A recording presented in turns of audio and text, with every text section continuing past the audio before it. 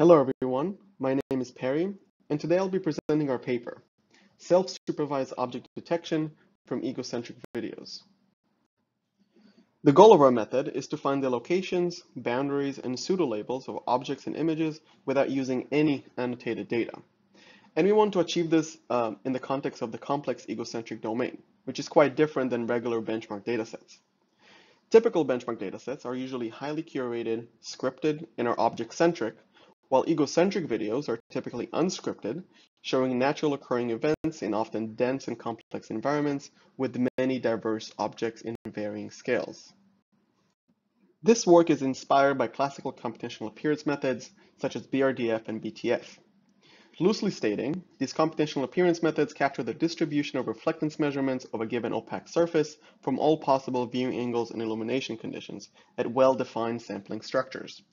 While these classical methods sort of specialize under expected, structured, and controlled conditions, real-world conditions present varying scales, textures, structures, and irregular surfaces. We don't know where the camera and light sources are, and we don't control their positions. To dive into the intuition of computational appearance, we look at the example of bidirectional reflectance distribution function, or BRDF for short.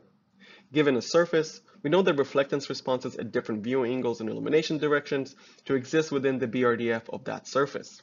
As an example, on the left, a surface can be specular or diffuse depending on the viewing angles and illumination condition, but reflectance responses still remain within the BRDF of that surface.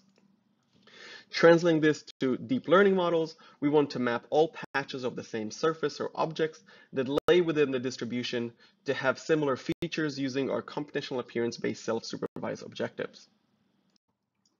So we require to view a given object from various viewing angles and illumination conditions. And for that, we leverage a natural human perception captured in egocentric videos to sample diverse views of the same object. As the human agent interacts with its surroundings, it views objects from different viewing angles and under different illumination conditions. And we can sample those views for our computational appearance-based objectives. So for this frame, on this example on the left, um, will be sampled into this point, and this frame will sample into this point, and so forth and so forth.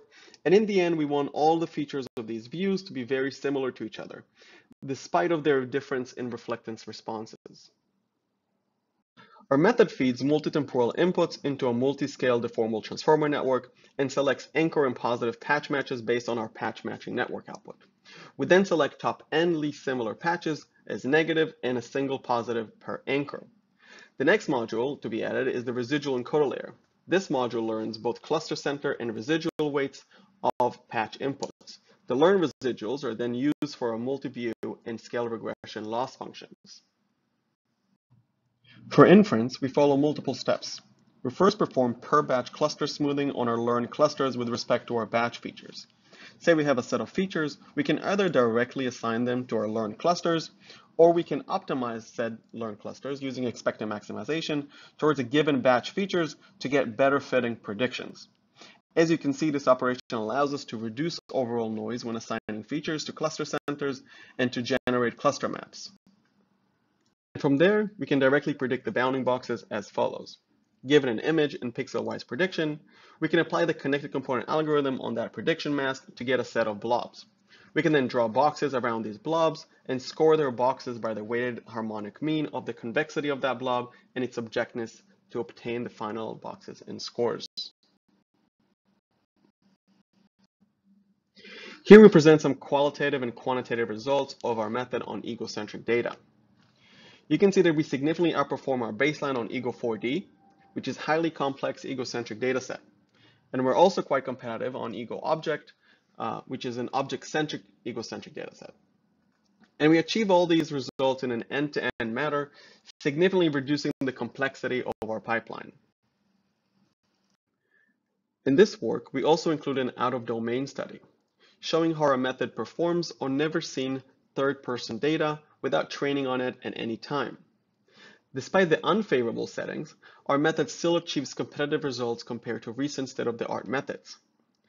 Notice that while not metrically taken into account, we're also able to distinguish objects from each other, producing consistent pseudo-labeled predictions for same object categories.